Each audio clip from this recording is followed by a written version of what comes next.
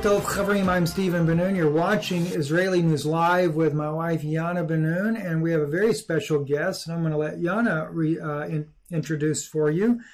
And uh, of course, uh, today you get to see our shining faces in still form, and that's only because uh, there's some people in higher places that that just didn't want this to be in a video format. I wonder why. I guess you're not watching Israeli News Live, you're listening to Israeli News Live. Yeah, I got to learn a new uh, verbiage, don't I? I guess so, Stephen. Well, welcome all of you and welcome Sofia, Sofia Smallstorm. She's a dedicated researcher, ladies and gentlemen. Sofia is not satisfied until she knows it all to the greatest detail. And I am so happy that she's willing to share some of her knowledge with us.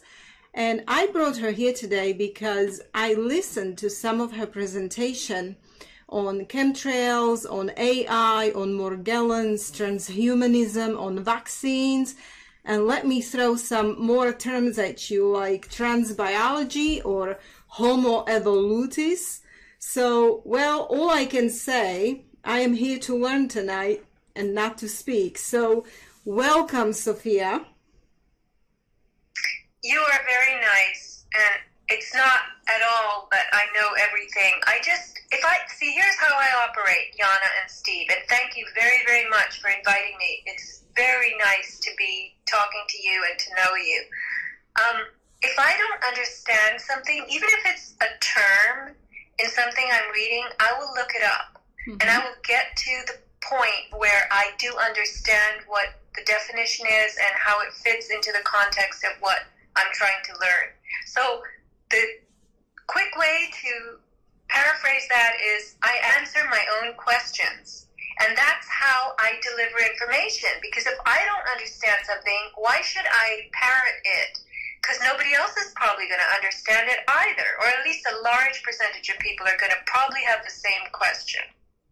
Well, you are my kind of woman, Sofia, because, you know, I am similar to you. This is maybe why uh, you captured my attention like this, because um, you really go into a great detail. And anybody who will listen to your lectures or interviews that you have done can certainly agree with me. And uh, I really appreciate you coming on. And most of the things that you talked about, I never got to myself, even though I am a biologist. You know, I was teaching biology at the high school level. I'm a former nurse midwife.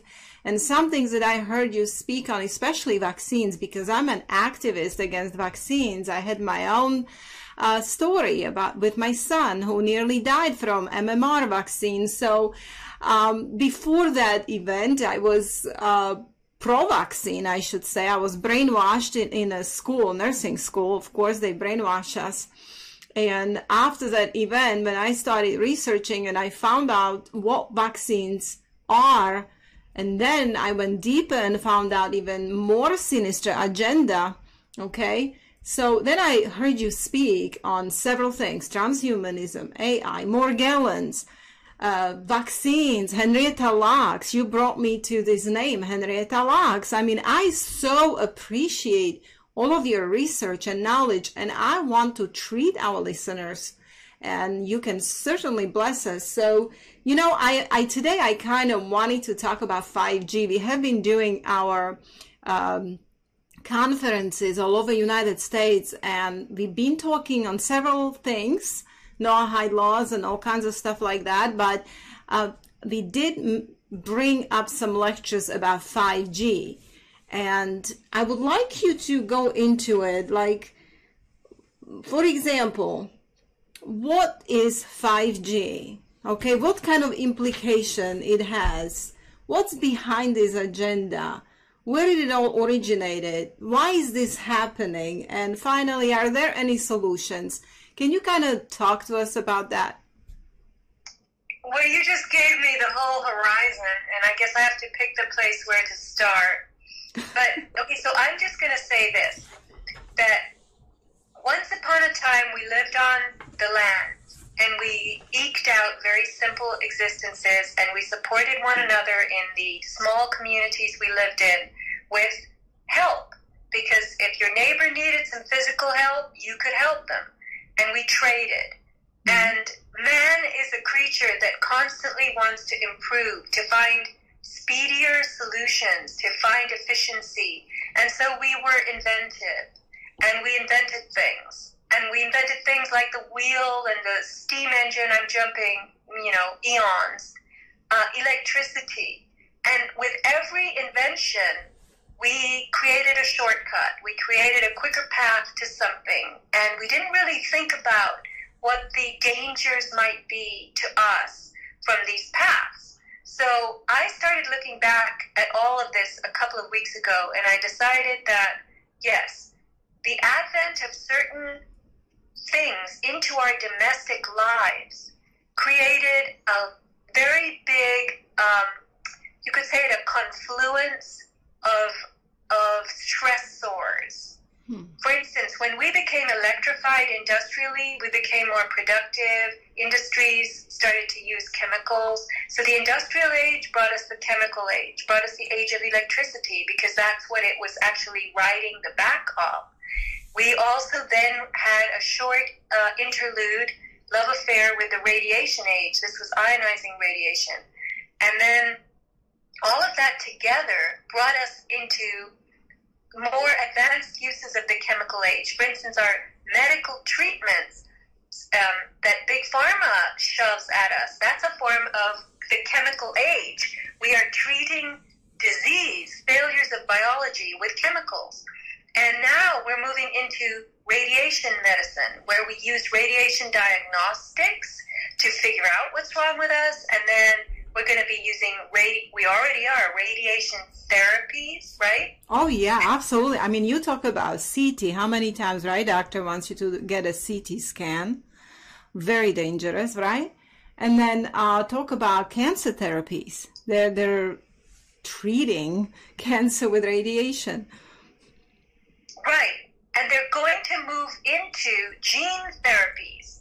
It, i think the official term is igt immunoprophylaxis by gene transfer, meaning they're going to transfer or genetically modify your biology so that you will not get this disease or that disease that your family lineage predisposes you to. Now, that's what they will claim. But the fact is, it probably won't work. And then they'll just, just the way chemical chemical applications to disease conditions don't work. They just create more problems. And they'll tell us, oh, you're just one of the people that it didn't work for. We're so sorry we tried. And they'll be immune to any kind of legal action. So when you ask me what is 5G, 5G is an offshoot or it's an outgrowth of 4G and 3G. And the G stands for generation. And I just want to throw in here that a lot of people have routers that say 2.4G and 5G. The G on your router does not mean 5G. It means 5 gigahertz. Okay. So, mm-hmm. yeah. So that was that, that. Thanks for saying that because we have that here in our house, 5G, and we were all scared that we have a 5G, real 5G. Yet over here in Orlando, Florida, we don't have a knowledge that it rolled out yet, the millimeter wave, actual millimeter wave, you know. So, but good to know. Thank you. Yeah, and you can actually call your provider and ask them to shut that transmission off because it is useless. It's quicker. It's 5 billion hertz. Gigahertz means billion hertz, whereas your regular Wi Fi is 2.4 billion hertz, 2.4 gigahertz. But there is no need for you to be receiving 5 billion hertz when you have nothing in your house that even uses it. That's right. That's right. right. Mm-hmm. So the other 5G is fifth generation. And this is about, as I understand it, this is the speediest way to deliver feedback to the powers that be, sitting in their I'm just going to call it, you know, theoretical ivory towers where they want to surveil us and they want to find out every detail of our lives. So the 3G, 4G, all of the methods of transmission that have been used for data have been have involved copper wires. Even though there's a wireless part of it at the end, mm-hmm. the infrastructure involves copper wiring, as I understand it. Now, I had the occasion to bump into a, a technician who was a lineman for AT&T a couple of years ago, maybe a year and a half ago. And I asked him, I said, are they going to discontinue landlines? And he said, oh, no. And I meant telephone landlines. He said, no, no, no, they're not, because they're laying right now. They're laying in the ground across the country tremendous amounts of fiber optics. Hmm. I said, oh, and I knew that he really didn't know the answer to my question, but it was good for me to have that information because I since learned that 5G is transmitted through fiber optic cables using light, light technology. And since learning that, I found out that when you transmit signal through metal, you have a tremendous amount of of distortion. There's a lot of interference, noise, harmonics. But when you transmit using light as the medium, it's clean. There is no distortion and it's very, very fast. So then it was the author Patrick Wood who has written the book Technocracy Rising. He's very well known. I had an occasion to talk to him. It was my privilege. He told me that the reason they're implementing 5G is because they want instant feedback about everything we're doing. They don't want to wait for the errors and the noise and the crud that 4G and 3G bring back to them and the slowness of 4G and 3G. They want to sit and watch in real time. They want, Patrick said, real time modeling of the world that is around us and them. Wow. So you're telling me because they are rolling this out this year. I know that some states like Texas, okay, is rolling it out in some major cities. It's being, they've been trying this technology already in Czech Republic. That's like a first guinea pig nation where they've been trying it on population. And you, so you're basically telling me that the main reason is surveillance of the citizens. It's the speed of the information coming to them. Hmm. That's right. Well, what kind of implication is this going to have on health? Do you have any information on that? Well, I will. I'd like to throw in a little segue, a little sideshow comment. Um, I had a friend, I have a friend who has some rental properties, and the internet provider sent her a notice that she had to respond to. And the question was, at this particular address, do you want 4G or do you want 5G? And in parentheses after 5G, it said faster. So she checked 5G because it's faster. Huh. Now, I told her, I said, you know what? I said, you just screwed yourself. Yes. Because now you asked for it. Wow. So you cannot hold them liable for any problems that you're going to have or your tenants are going to have at this location because you asked for it. Wow. So that is where they're going to cover their, their butts when it comes to health. And I suspect, okay, so there is this stuff going around, Yana and Steve, that I'm a little concerned about. And people are making videos about it. And I think, Yana, you confirmed that somebody had written to you recently about this that there is a safe form of 5G and that we are being given 5G that's militarized. Yes. And therefore, it's not the safe kind, quote unquote, right? You know, I have brought this information out uh, on in my slides on conferences, and I have said to people that even our current president, Donald Trump, has approved, and he's asking for this technology to be rolled out as quickly as possible. He's even speaking of a 6G, believe or not. And I have learned that this is part of trade wars with China. Like all these countries are, you know, fighting who is going to be first in the 5G rolling out. And so somebody wrote this message to me and they said, well, uh, Mr. Trump is innocent because what he's giving us is a safe 5G. The 5G that he approved is not dangerous to health. And I have first time heard such a thing. I never knew that a safe 5G even exists. So can you talk more about this? All right, I'm going to ask you a question. Do you think it's possible to, to have safe vaccines? No, absolutely no. There is no such thing like safe Nor- vaccine. Yeah, we, we won't even go there. but anyway, no. That's right. Okay, do you think it's possible to be a little bit pregnant? Oh, yeah, yeah, that is possible. Just a little bit, not too much. no, absolutely not. You're pregnant or not? Okay, so the third question is knowing what we know about the electromagnetic wave spectrum, most of which is blank in the natural world, meaning those waves didn't exist until man came in and made them. Do you think it's safe? It's possible to have a safe 5G? Absolutely not. You know, Sofia, a lot of people put their belief in in Trump. They think he's a savior of the United States and savior of the mankind almost and they're making all kinds of excuses and there is no such thing as fa- safe 5G. In fact, it's it's a weapon, right? Am I correct? It's a weapon that is used in military. It is a weapon. We are being weaponized. You should restate that because on my end it sounded like they just buried you in a huge plastic bag. Oh yeah. Yeah, let me see here. What try happened? it, try it now. Whoop, hang on. For some reason, yeah, they just shut it off. Oh, wait a minute.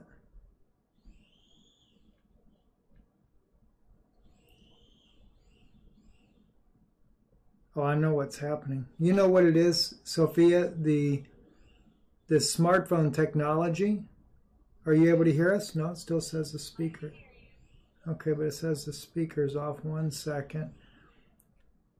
Uh, what they're doing is you can it should work now the technology nowadays with these smartphones is as you talk it decides to do its own thing Can you hear us? Mm, well, Well, you know, I, I can hear. I wonder because uh, Steve has the. Is this the latest? unfortunately Yeah, he has the latest iPhone, and you know, it does the strangest thing, Sofia. And you know, I know we're kind of going off the subject, but one time when Steve was in Washington, my daughter was calling him crying about certain thing, and our iPhone has called 911 without me dialing it. They dialed 911. don't keep saying it because it'll do it again Yeah. So it was it, it was was detected stress in her voice because she was upset and so that's what it did Yeah. It's really strange really strange stuff. But anyway, let's let's go back to uh, 5G. I don't know where we ended, but anyway, I was talking about 5G being a weapon. You were talking about Trump, and that's when they cut you off and put a big plastic bag over you. That's right. Can't speak against him. go ahead. Well, I want to just say this. I want to give a little visual. So imagine the wave spectrum. There's different kinds of waves, but there's an electromagnetic wave spectrum. You can look it up online. And the natural electromagnetic field of the Earth is, it ranges between zero oscillations per second and 40, four zero. And most of it sticks to 7 to 12 cycles per second. That means the waves, they're very long, languid waves. They all travel at the same speed. All waves travel at the speed of light. Light travels at the speed of all electromagnetic waves. Okay? But the interval between each crest of the wave, when you're looking at a 7 hertz wave, and that's what your brain is. Your brain likes 7 hertz. When it's all amped up, it likes 12 hertz, and it doesn't like anything really beyond that. Equatorial thunderstorms will throw 40 hertz into our environment, but that's not very often. So even when we had 50 hertz electricity come in and 60 hertz, W. Ross Adey of Loma Linda University, he was a professor there at medical school. In the 70s, said, What's this going to do to us? I mean, we like 40 hertz. That's all we're acclimated to, and that's extreme for us. So, what is 50 and 60 going to do to us? He asked this in the 70s. And now we have data being transmitted on the radio frequency microwave spectrum, which is blank in nature. But mankind has figured how to use something called transduction, using crystals, throwing voltage at crystals, making them shudder and shake and deform, and then they produce a frequency, and the vice versa effect works as well. You throw a frequency or a mechanical force or a pressure on a crystal, and it will release a voltage. So, this is how all amplification and all these other technologies today work. They work on the concept of transduction. You can look it up. Mm-hmm. But anyway, we were acclimated to up to 40 hertz. We understood pressure waves called sound. We had an auditory range that we could accept and translate to help us live. We were acclimated to another electromagnetic wave um, band called visible light because we need that. We need that for our biology. We need that to navigate the world. And beyond that, we were deaf and blind. We just didn't didn't hear anything. There's a certain kind of infrasound that we feel. We don't hear it. Ultrasound, we feel it and we kind of hear it. But for instance, tell me how you feel when you hear a motorcycle roaring by, a helicopter. You hear uh, thunder.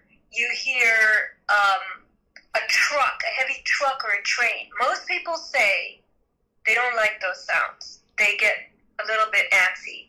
You're right. When, and I right. don't. And I hate motorcycle sound. Makes me very angry, kind of nervous, you know. Right, because we are hardwired to be prepared. When we hear, what you're really hearing and responding to is the infrasound. That means the range of wavelengths below what you can hear. The hearing part is bad enough, but you're feeling the infrasound and you're hardwired to get ready for an avalanche, a tidal wave, an elephant stampede. Do you see what I'm saying? Yes. So we don't like heavy duty infrasound. It tells us something bad is going to happen. That's right. And we don't like ultra ultrasound either. Mm-hmm. That we don't even. It's destructive to the crystals in our bodies. And we're not around it because the animals that use ultrasound are living in the depths of the ocean. And so that brings me to the last part of my little thesis here, which is that there are elements of the earth that throw out wavelengths that are extremely fast, electromagnetic waves. These are the, you know, uranium, strontium, thorium, radium, all the radioactive elements. And they're not good for us because those speeds, those wavelengths will actually burn our tissues and cause terrible, terrible results. But where are those elements, I ask you? They are buried deep in rocks where biology doesn't go. That's right. That's why 5G, well, even 4G, 3G, 2G, but 5G millimeter wave, you know, radiation is against our biology. It's against animals. It's against insects, you know. Uh, I was bringing out the information how bees are already dying and how they're going to be dying en masse from the 5G. And wherever they're trying this technology, either animals die, the insects die, the trees are affected. So it is definitely contraindicated to everything created and to our own human biology. You know, Sofia, are you there?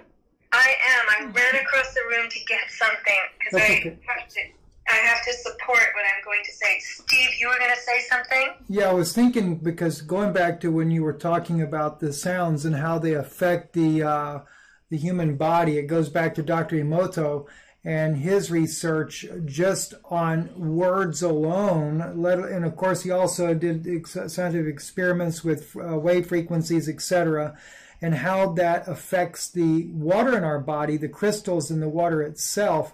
uh, not to mention the crystals in the water that he was actually, you know, filming uh, to show those changes. So yes, it's interesting to note the uh, the technology of 5G and how that's, uh, like you mentioned, going through the uh, crystals and how that affects the human body. Right, and one of the things I'm learning now, because I want to tell people, I you think I know a lot, I really don't. I'm always learning something, and it's added to the big, you know, giant ballast of stuff I have in my head that gets all mushed together, and then I freak out because I can't remember things clearly. but all, all of us are like this, Sofia. Don't feel bad. all right. Well, what I am learning now is that there is a concert of stuff happening to us. And because of the concert of assaults that we are enduring that didn't exist on this earth before, two, even two, three hundred years ago, they didn't have all this stuff. We are experiencing a synergy of toxins.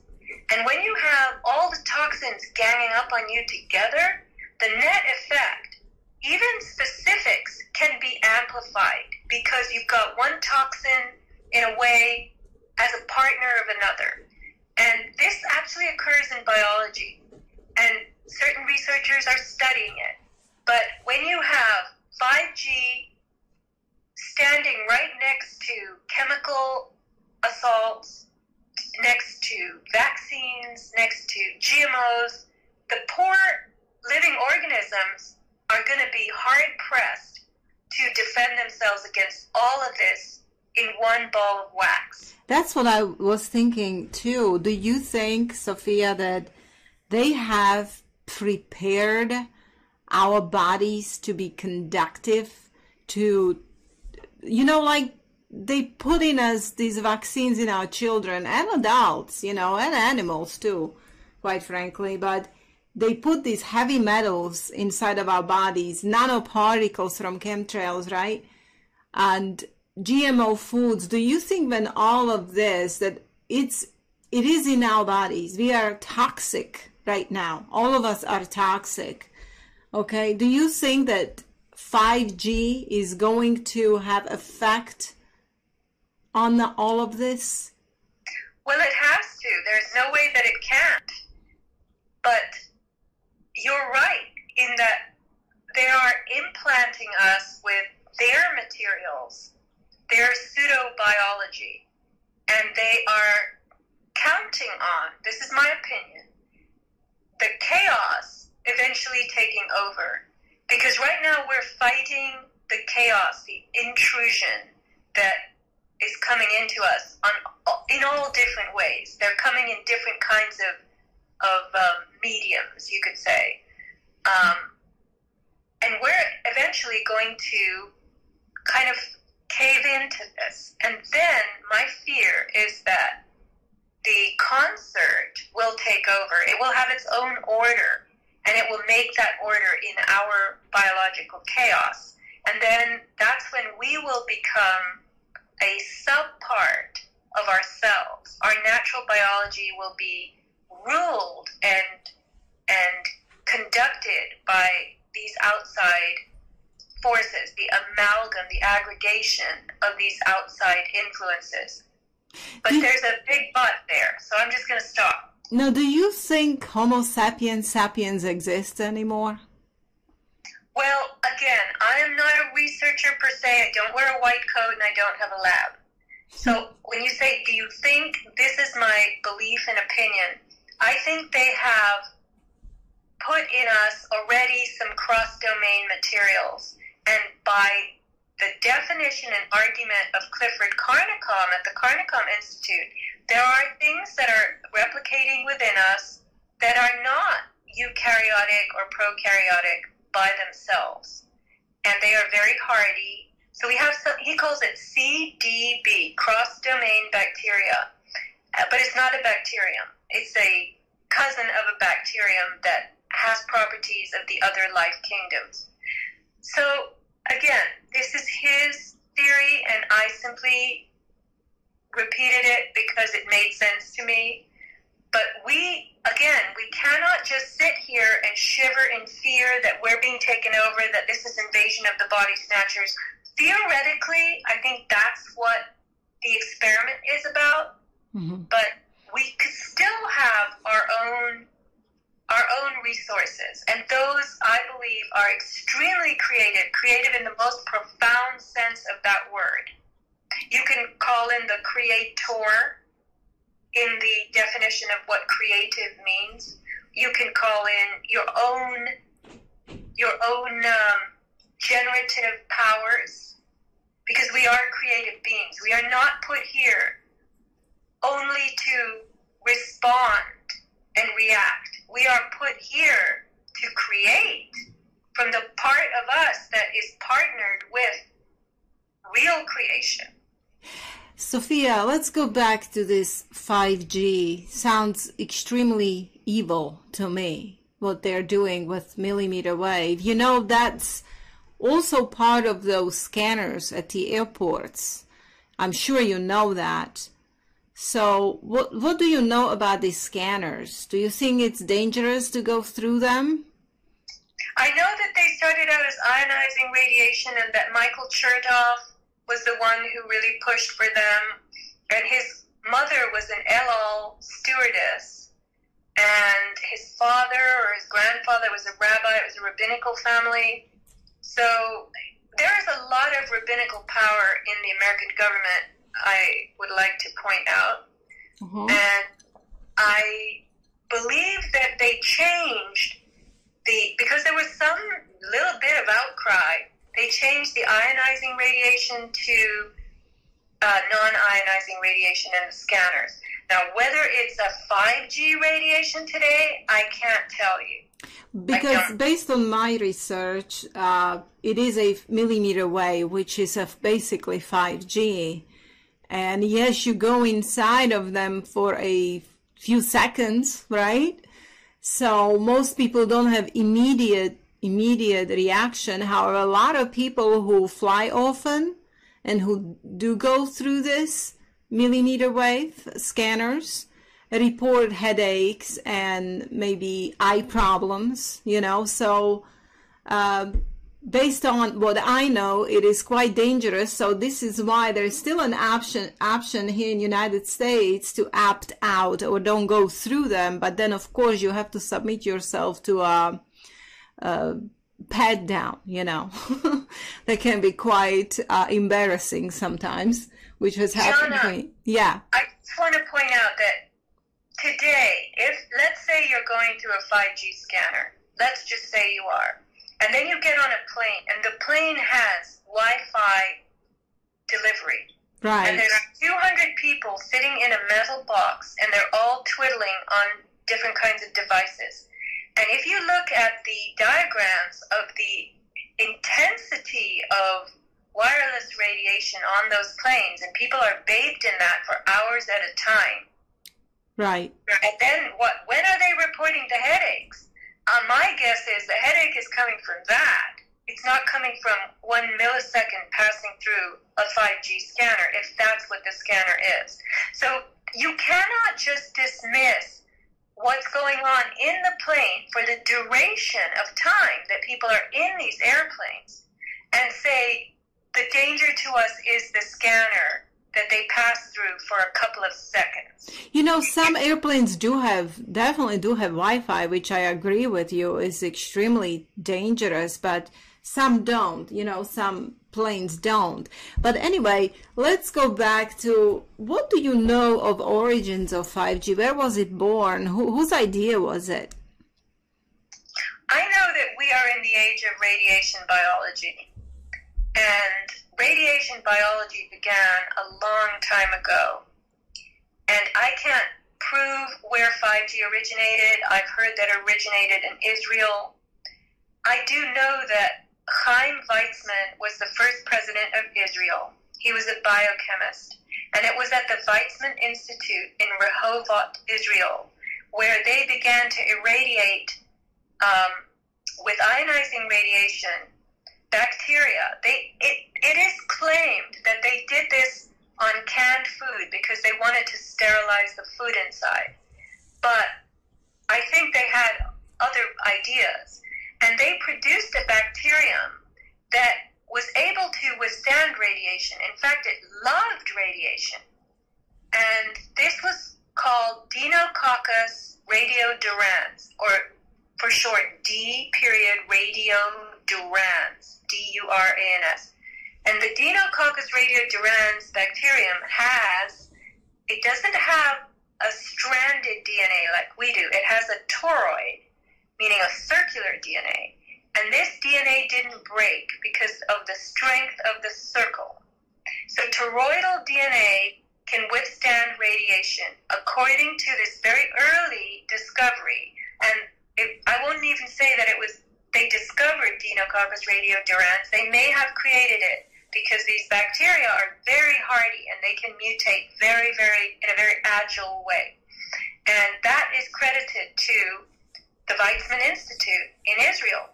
Mm-hmm. And we have seen the Manhattan Project, which was pretty much the, um, it was birthed by approval by Franklin Roosevelt, the President of the United States at the time, but it was the brainchild of Leo Szilard, S Z I L A R D. He too was a scientist, a chemist, a very brilliant man. He grew up in Czechoslovakia. I believe his original, his real name was Spitz. I'm just, I'm not looking at my notes here. I'm just talking from memory.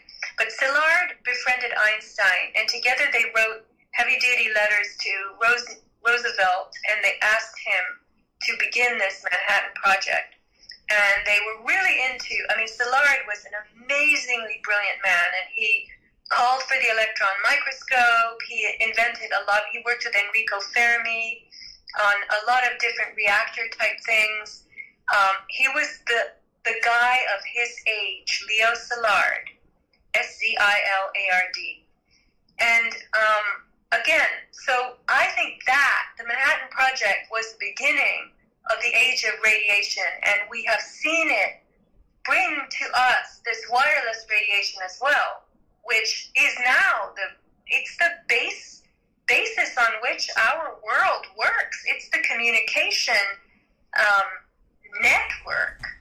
Oh yeah, right? you know, it's 5G is supposed to lead us to well cloud computing, right? And then of course uh, the the self driving cars.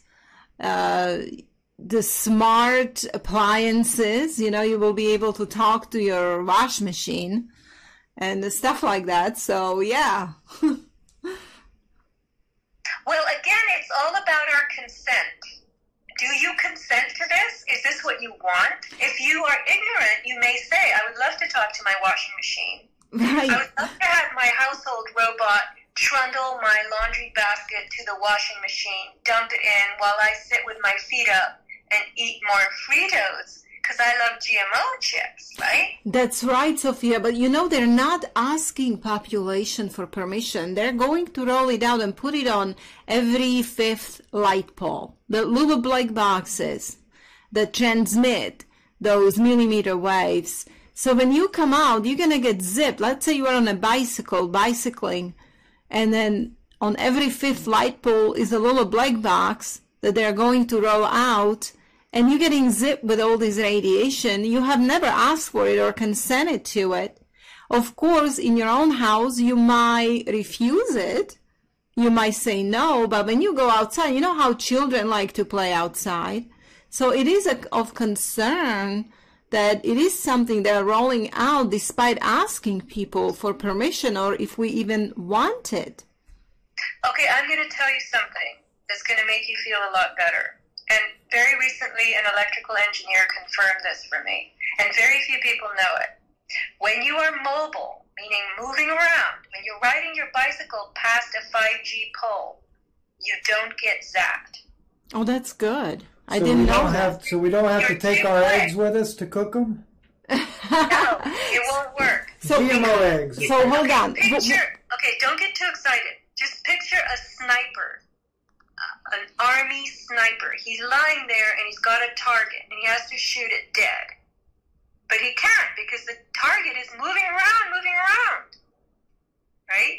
Right. That's how these waves work. If you are sitting at your desk like a fool and you are cooking yourself with Wi-Fi or 5G. 5G, by the way, when you bring into your house proudly a little gizmo from Walmart and or Verizon sends it to you and it converts the 5G into Wi-Fi. That's what has to happen, and you'll just bathe yourself with Wi-Fi. Mm-hmm. So this that, is when you are in danger. If you sit there and you sleep in it, and just the way people are already doing, That's people are already doing this. So and, what if it's a light pole in front of your house and they install it right there and it's constantly in front of you, you know, it's in front of your window? All right, I'm going to tell you something. Now, I this is a theory, but it is known that 5G is stopped or blocked by walls, by trees, and also by distance. It attenuates so quickly that they have to have repeaters. That's why you need one in your house. You need a repeater. Mm-hmm. So let's think about light. Remember that 5G is transmitted on light. So when you when there's a bright light shining outside your house, are you going to see it? No, because you have a wall in the way. What are trees doing? Trees block 5G. Why? Because they also block light. That's called shade. Right. So 5G is not as hardy as we think. It's easily blocked. And you can block it more easily than you can block the current RF that's coming. Well, that that's actually you know a little good news. People need good news because all the bad news is coming out about it. You know there is about 200 scientists in European Union and 180 scientists in United States that are warning population and they are trying to delay the rollout of 5G because of health effects that it's going to have. So it is a good news that you are saying that we have little choice in it, like don't bring it in your house. Right? That's right. But you, at the same time, don't be such a dope that because it's faster, you're going to sign up for it. That's right. Yes. Now, is it faster? I don't think so. Is it? Well, yes, it is. It's it's this is the reason they're doing it because it gives instant feedback is light. Oh, you're right. You can download your movie in one se- on few seconds. That's right. That's right. But isn't isn't that when you do cables right in your house? If you change everything to cables, because we have recently done that, and we were amazed at improved speed of our internet. Right. Cable internet is the fastest Wi-Fi is more erratic and slower. Sorry, Steve, you were going to say? No, that's just what I was going to say. Is that the Cat five cable? You know, I was trying to figure out the way to uh, to get rid of the Wi-Fi completely in the house, and Cat five was the only thing I could think of that would limit that the effects of uh, the Wi-Fi radiation that we're being bombarded with daily. But also, Sofia, you have told me when we had private talk about dirty electricity. Can you tell our listeners a little bit about that? Because even when they change to a cable, there is something called dirty electricity. Can you explain that a little better to us? Dirty electricity exists in everybody's house to some extent, and there are four factors that bring it in. And I can go into those, but we are almost at one hour now. But yeah, when you convert to Ethernet, if you use what's called STP, shielded twisted pair cabling, and the common names for that are a five, Cat five, and Cat six, then you are using a shielded form of cabling that's not even going to produce dirty electricity. Because one of the things that the uh, Internet over Electric and that the cables do is they do create a stress or harmonics or noise or interference on the metal wires that normally don't carry those kinds of loads. So you need extra cables.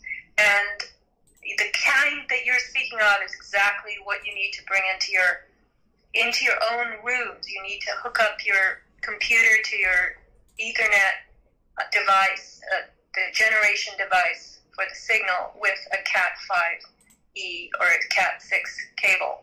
But this is all very technical. People have to get the basic concepts first, which is that you should not be using Wi Fi, period. That's right. That's right.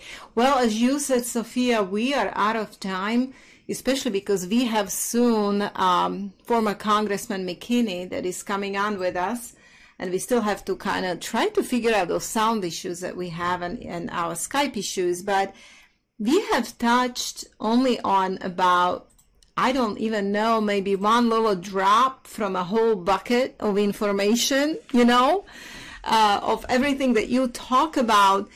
So I would like to ask you if you're willing to come more regularly on our show and we can talk about transhumanism, AI, where is the future going with all of this, and about Morgellon and chemtrails. You're a really good researcher and you have really great information about chem- chemtrails. And I want to tell people about your website, Sofia. You run a website, www.aboutthesky.com. You can find extremely good information on that website. And you also have an online store, www.avatarproducts.com and I can personally tell you that I have ordered several things from that website. Uh, one of the, one of them is a product called Restore. My husband has IBS issues, so I'm so looking forward to get it because you talk also over there about glyphosate, how glyphosate can can cause these uh, intestinal issues, right, Sofia?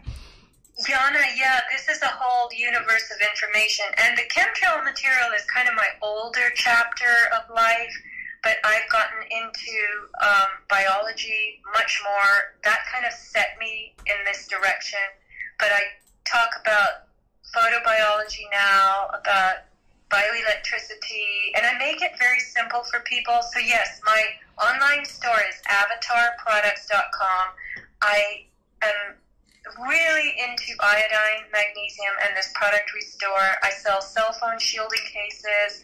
There's so much you can get there. It's kind of like a niche store, and it, everything on it was either discovered by me to be profoundly helpful for me and friends and family, and that's why I put it in the store, or it's something I've created on my own, or I've worked with a chemist to come up with it. Um, and everything is very inexpensive, relatively speaking, and the bang for the buck that you get is definitely worth it. So that's how I stay alive. Avatar, A V A T A R, products.com. And I have a blog, Sofia Smallstorm, Sofia with an F, dot com, and I there are several years worth of posts that I've put up there. This is information that I've drawn from other sources that I think are profoundly interesting. Lots of videos, lots of articles. Um, if you you can spend a lot of time lost on those various blog pages. There's one for every year. Yes, but yeah. There is very interesting information on it. And I want to talk about iodine just very briefly, really quickly to our listeners. You do have nascent iodine on it, on there. And I just recently purchased iodine, but my future purchase will be from you. Uh, iodine, we are almost all of us are deficient in iodine these days. And iodine detoxifies fluoride and bromine from our, from our bodies. Did you know that, Sofia? Well, sure, I know that, Yana, and that's why I take so much iodine myself. yes, very you good. You have to be very cautious with iodine. I sell three different kinds of iodine. They're all inexpensive and you can combine them. And I tell everyone start with one. I have a whole ounce of nascent iodine for twenty dollars. That's the best deal on the internet right now. And if you order stuff from us, you generally get something for free as well, so you can try something else, a little sample size. So yeah, I would ask people if you want to start improving your mental. Um, mental attitude and your emotional being, you really have to begin with your own biology, with your own cells. And I would love to come back and we can talk about this to the extent that I'm capable of explaining it. And this is all based on my own discovery and chatting with famous scientists if I ever get the chance to. I'm in a dialogue with a very brilliant research scientist right now and learning so much from her. And I write my newsletters. You can sign up for my newsletter. It's on my website. There's a little tab on the uh, sofiasmallstorm.com.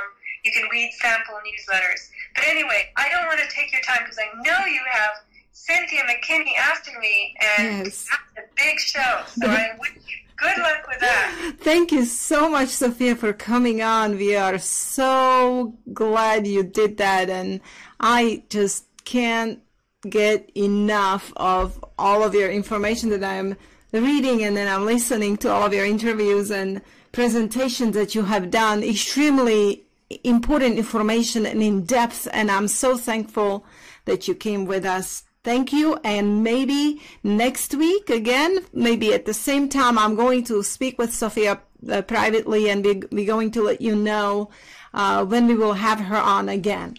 It sounds excellent, and we do thank you so much, Sofia, for being with us here today.